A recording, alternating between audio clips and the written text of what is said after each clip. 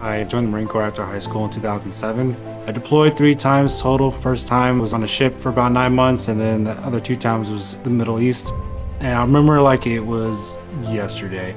I get on my motorcycle, somebody pulled out in front of me, and all I could think was I'm gonna hit this person.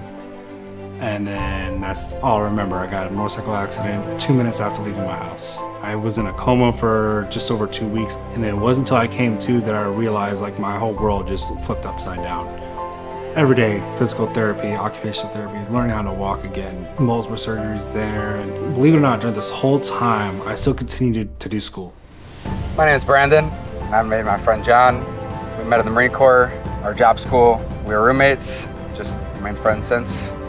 He starts blowing my phone up, and I'm messaging him, hey, I'll call you back in a bit, I'm busy. Calls again, he's like, it's an emergency, you need to answer. I'm like, oh, geez, what could possibly happen? What can I do? I had to text him out. I just said, emergency, pick up the phone now. Picked up the phone, and he's like, hey man, you're gonna really like this. You want a whole solar roof for your house. Dude, you want it. It's surreal, this is happening right now. I was like, wait, what? The Semper Cares initiative is a nomination-based program, and for Independence Day, we wanted to give that freedom and independence back to John Reppert.